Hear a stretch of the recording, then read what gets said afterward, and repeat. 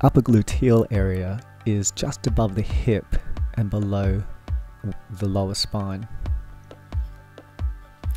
Place the massage balls on either side of the upper hip.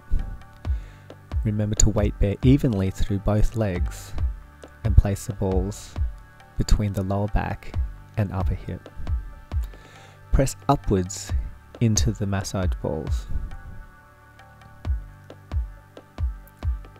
As the balls roll downwards towards the buttocks, you will notice an area of tension around the upper gluteals. You may need to readjust where the massage balls sit on the wall from time to time in order to stay within the specific area of the upper gluteals.